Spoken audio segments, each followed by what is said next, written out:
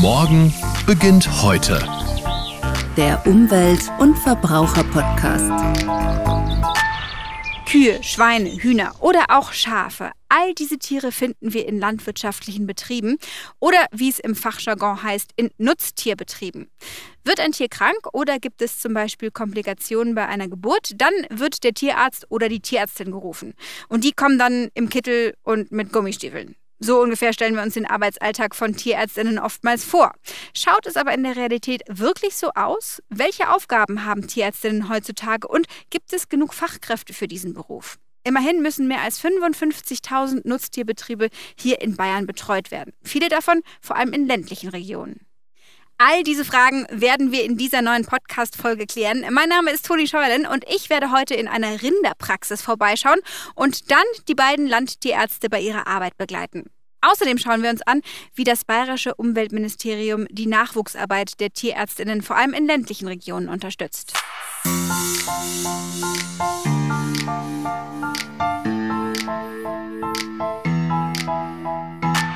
Es gibt ja so Berufe, bei denen haben wir gewisse Vorstellungen oder sogar Vorurteile. Bademeister zum Beispiel. Die laufen den ganzen Tag entspannt in kurzer Hose und mit Sonnenbrille auf der Nase am Schwimmbecken entlang und ermahnen Kinder nicht vom Becken ranzuspringen. Oder InformatikerInnen, die den ganzen Tag in ihrem dunklen Kämmerlein vor dem PC sitzen und Einsen und Nullen in den Computer tippen. Ja, in der Realität schaut das meistens ganz anders aus. Und so ist es auch bei den TierärztInnen, die in ländlichen Regionen arbeiten. Die fahren nicht mehr nur jeden Tag von Hof zu Hof, um sich um kranke Tiere zu kümmern. Ihr Beruf hat sich weiterentwickelt. Und so findet ein Teil der Arbeit auch im Büro vor dem Laptop mit ganz vielen Zahlen und Statistiken statt. Und ich will mir das heute mal aus der Nähe anschauen und habe mich auf den Weg nach Oberbayern gemacht. Genauer gesagt nach Steingaden, eine kleine Gemeinde im Landkreis Weilheim-Schongau. Hier lebt und arbeitet Dr. Siegfried Moder. Der Rinderpraktiker ist nicht nur Landtierarzt, sondern gleichzeitig auch Präsident des Bundesverbandes der praktischen Tierärzte. So, grüß Gott, kommen Sie Grüß rein Gott, bitte. Herr Moder, vielen Dank. So. Die Patienten, die hier sonst reinkommen, sind wahrscheinlich aufgeregter, oder? Ja, das sind im Regelfall kranke Hunde oder Katzen, aber äh, das ist nicht unbedingt unser Aufgabenbereich, sondern wir befassen uns mehr mit Nutztier, speziell Milchvieh und da muss man ab und zu auch mal am PC sich bestimmte Daten anschauen und äh, das mache ich jetzt gerade. Ah, das heißt, Sie sind jetzt gerade hier, um ja, verschiedene Daten auszuwerten. Ich habe es gerade schon erzählt. Man ist nicht nur unterwegs auf dem Hof als Tierarzt, sondern auch mal am PC in der Praxis. Wie können wir uns denn Ihren Arbeitsalltag so vorstellen? Ja, das ist erstmal der Alltag einer ganz normalen Nutztierpraxis. Das heißt, wir bekommen Anrufe, kranke Kühe, Kühe in Geburt oder was auch immer, zu denen wir auf den Hof fahren, die dort versorgt werden, wie man sich das landläufig von einem Tierarzt, einer Tierärztin erwartet. Aber natürlich geht auch die Digitalisierung an uns nicht spurlos vorbei. Das heißt, die Entwicklung gibt uns weitere Chancen, die wir vor 10, 15 Jahren noch nicht hatten. Hätte mir damals mal jemand gesagt, ich fahre mit einem Laptop, abgesehen davon, dass es den noch gar nicht gab, mal auf Praxis, ich hätte es nicht geglaubt und jetzt ist es irgendwo ganz normal. Das heißt, am Milchviehbereich werden elfmal im Jahr Einzelmilchproben der Kühe untersucht auf Inhaltsstoffe, auf Höhe der Zellzahl. Daraus ziehen wir Rückschlüsse auf die Gesundheit, auf die Fütterung, auf die Versorgung der Tiere und können damit sehr viel Hilfestellung geben bei der Versorgung der Tiere. Die Tiergesundheit fördern ist sicher auch ein Beitrag zum Tierschutz und dementsprechend hier mehr prophylaktisch in der Prävention agieren und nicht erst warten, bis die Tiere krank sind, sondern künftig verhindern, dass die Tiere krank werden. Also wie bei uns Menschen, uns wird ja auch nahegelegt, dass wir jährlich zur Vorsorge gehen oder häufiger mal zur Vorsorge gehen. Das gibt es jetzt auch bei Nutztieren.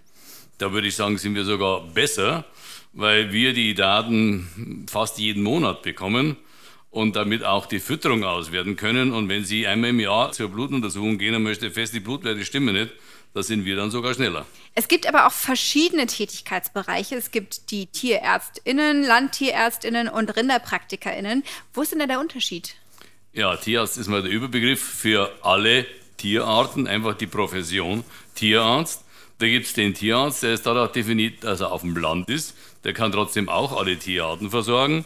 Und da gibt es halt den Rindertierarzt, der sich im Regelfall dann nur mit Rinder, mit Milchvieh befasst und daraus nochmal eine besondere Spezialisierung abzuleiten ist. Hallo. Hallo Ruth, komm rein. Oh, eine Kollegin. Ja, Mitarbeiterin. Genau. Ich komme gerade von draußen. Bin jetzt soweit erstmal durch. Einen haben wir noch offen, wo wir noch hin müssen. heute und genau. Das heißt, ähm, Sie waren jetzt gerade unterwegs am Tier. Genau, ich habe ein paar kranke Kälber behandelt, zwei Euterentzündungen, habe ein paar Trächtigkeitsuntersuchungen gemacht, also was alles. Das ist Daily Business so. quasi. Genau. Wie viele Tiere können Sie das ungefähr überschlagen? Ähm, haben Sie denn so zu behandeln? Also es geht nicht um die Anzahl der Tiere, es geht eher darum, wie intensiv der Bestand betreut wird. Wenn Sie äh, eine eher hochleistende Herde haben, die natürlich in der Haltung anspruchsvoller ist, werden Sie öfter auf dem Betrieb sein, als wenn Sie eine weniger hochleistende Herde haben, die natürlich auch vom Management her unkomplizierter ist. Äh, Insofern würde ich es nicht an der Menge festmachen, sondern einfach am Betrieb, wie das Management läuft und wie das Ganze sich darstellt. Das kann man an den Köpfen äh, schlecht abzählen, aber es sind sicher einige tausend. Unterscheidet sich dann auch diese datenbankbasierte Betreuung an eben der Frage, ob es ein Hochleistungsbetrieb ist oder nicht? Höhere Leistung hat höheren Anspruch. Wenn Sie einen Marathonläufer haben, der stellt an seine Ernährung andere Ansprüche oder muss stellen als ein normaler Bundesbürger.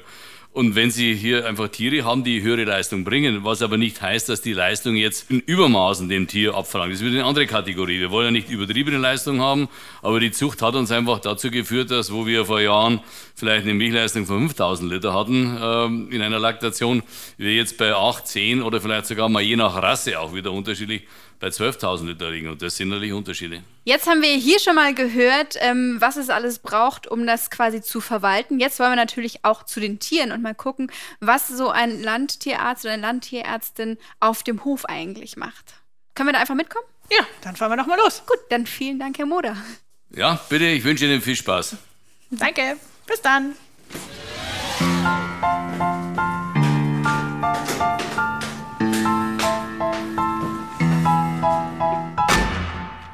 Wir haben uns jetzt auf den Weg gemacht und stehen jetzt mit Dr. Moder und seiner Tierarztkollegin Ruth Kremer vor einem landwirtschaftlichen Betrieb.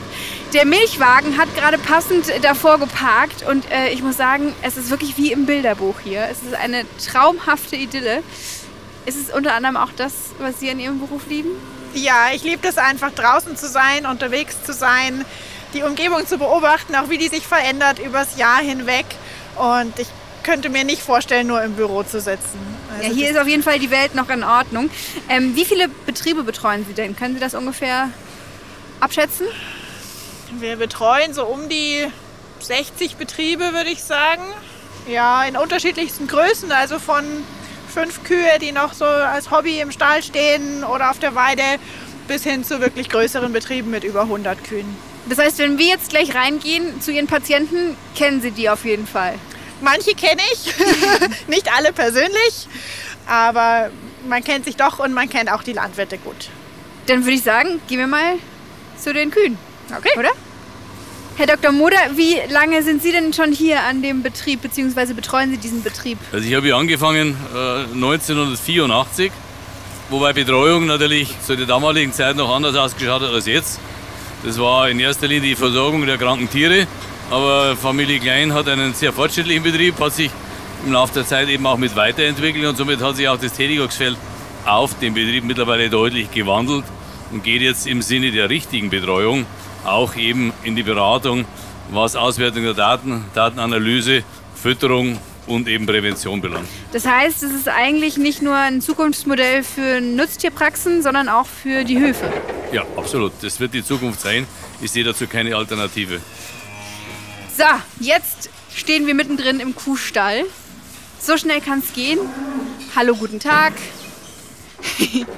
ähm, man muss sich das so vorstellen, wir sind gerade in den Kuhstall reingekommen und hier gucken uns gerade wie viele Kühe an? 50, 60 Kuhköpfe, die gerade alle rausstrecken äh, und am Futtern sind. Und da ist quasi die Chefin des Hofes, Frau Klein. Hallo. Hallo, grüß Gott. Wie viele Tiere sind hier ungefähr? Wir haben gerade um die 55 Milchkühe und die ganze Nachzucht dazu. Also nochmal 55 Stück. Wahnsinn. Wir können hier mitten aus dem Stall auf die Berge gucken. Wo genau befindet sich der Hof denn? Der Hof befindet sich im Wildsteig im Landkreis Weilheim-Schongau im schönen Pfaffenwinkel. Jetzt bin ich ja mit den Landtierärzten gekommen. Wie oft kommen die denn eigentlich so zu Ihnen auf den Hof? Sagen wir so, wenn wir sie nicht so oft sehen, das ist uns eigentlich lieber. Weil es ja meistens einen Grund hat, warum sie auf dem Hof sind, wenn wir irgendein Problem haben mit den Tieren. Ansonsten ein paar Mal im Monat Ja. vielleicht.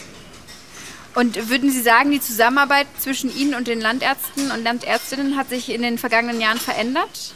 Ja, finde ich schon. Es hat sich eigentlich zum Besseren gewandelt, weil man hat einen anderen Kontakt zu den Ärzten mittlerweile. Und wir machen auch seit 2011 die Bestandsbetreuung. Und da hat man auch andere Themen, die man mit ihnen bespricht, schon im Vorfeld, auch zu der Behandlung von den Kühen. Und welche Vorteile für Sie hat diese Bestandsbetreuung? Der Landwirt hat viele Daten zur Verfügung und um diese auszuwerten und mit diesen Daten umzugehen, das können wir eben mit den Tierärzten dann besprechen. Frau Grimmer, wie würde denn jetzt so ein ja, Alltag hier auf dem Hof aussehen, wenn Sie hier ankommen? Das ist relativ unterschiedlich. Ähm, Es gibt unterschiedliche Gründe, weswegen ich gerufen werde. Entweder es ist ein Kalb krank und dann gehe ich zu dem Kalb und untersuche das Kalb und behandle das gegebenenfalls. Oder es ist eine Kuh krank und die muss untersucht werden.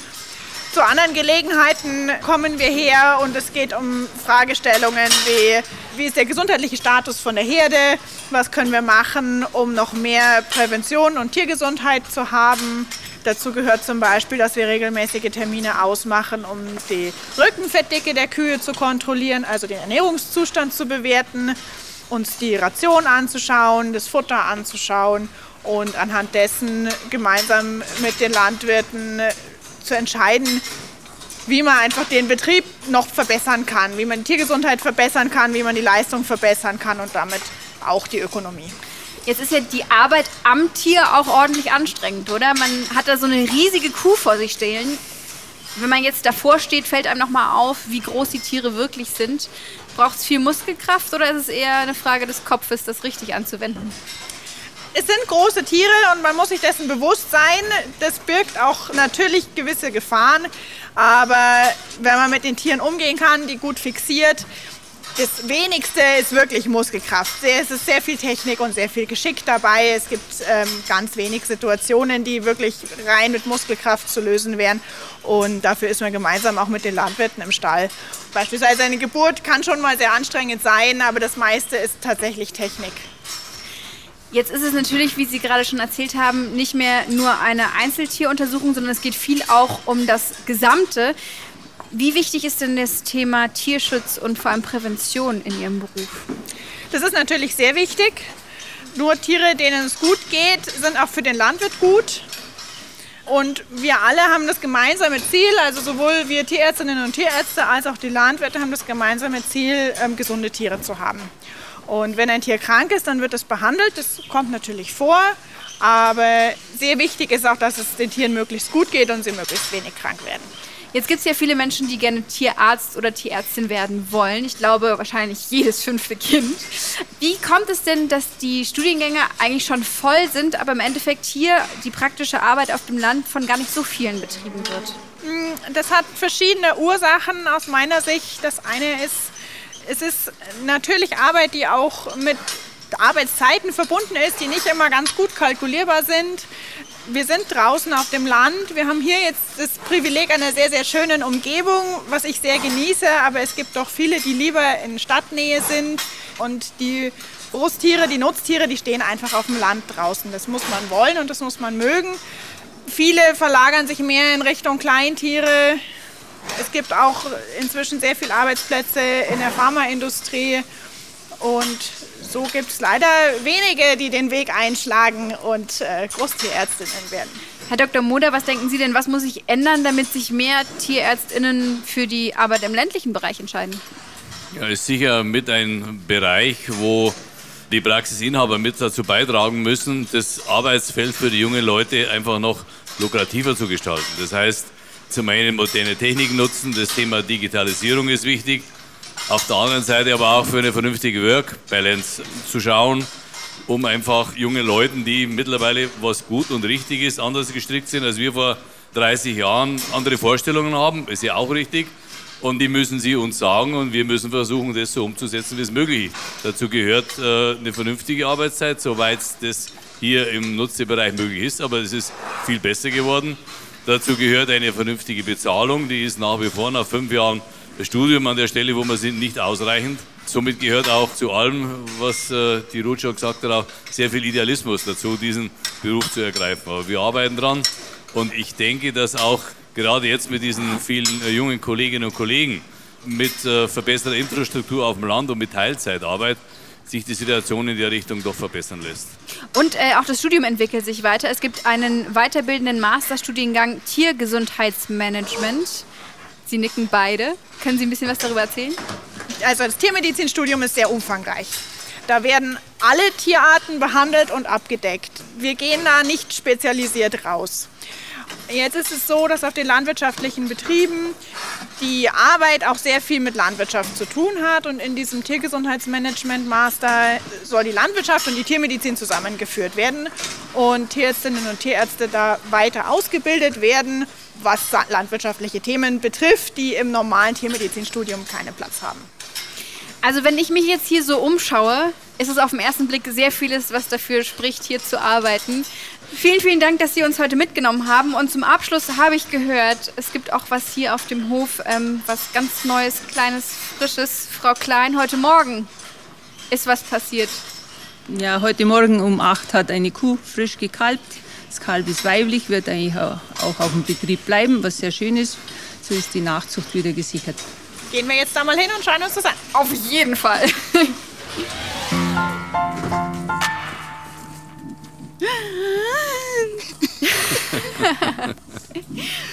und hier ist eine kleine Box und da gucken schon zwei verhältnismäßig große Augen raus. Oh, hallo. Und da liegt ein kleines Kalb. Ich flipp komplett aus. Das ist heute Morgen auf die Welt gekommen? Das ist heute Morgen auf die Welt gekommen, ja. Ohne tierärztliche Hilfe. Ohne tierärztliche Hilfe, nur durch die Anstrengung der Mutter. Und Sie waren dabei? Mein Mann war dabei. Das heißt, es kommt dann immer auch jemand raus und. Äh Man hat sie beobachtet, ob alles äh, da ist, ob beide Füße kommen, ob der Kopf kommt. Und dafür war mein Mann im Umfeld und der hat dann auch gleich geschaut, dass es in die Liegebox reinkommt und nicht auf den Spalten liegt. Und wenn es dann doch nicht rauskommt, dann ist Frau Kremer auf der Schnellwahltaste. Na, da habe ich zuerst meinen Mann und der schaut dann nach, ob er da nicht auch was tun kann, weil oft ist ja bloß ein Fuß, in Anführungszeichen, Fuß nicht ganz da oder umgeknickt, dann kann er den auch herholen. Wenn es weiter fehlt, dann fordert man tierärztliche Hilfe an, ja. Und wie schnell sind Sie denn da, Frau Kremer? Noch so zehn Minuten, je nachdem, wo wir uns gerade so befinden. Und da wird man auch gerne mal um 4 Uhr nachts wach geklingelt? Das kann passieren, das gehört dazu. Aber das ist schon sehr, sehr schöner Teil auch, wenn man dann kommt und im Notfall helfen kann. Kuh, Kalb und Landwirt geholfen hat, ähm, im besten Fall zwei Leben gerettet hat, manchmal sogar drei, dann weiß man auch wirklich, was man getan hat. Und das ist, sind schon die sehr, sehr schönen Momente auch. Auch wenn es mal unbequem und anstrengend und mit Schweiß, Blut und so weiter verbunden ist, aber es ist lohnenswert, ja.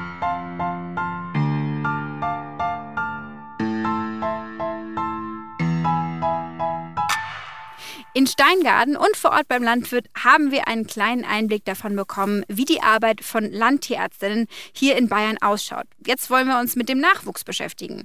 2014 gab es knapp 1200 niedergelassene Tierärztinnen, die sich um die Nutztierbetriebe in Bayern gekümmert haben. Aktuell sind es nur noch rund 820. Gerade in ländlichen Regionen lässt sich nur schwer Nachwuchs finden.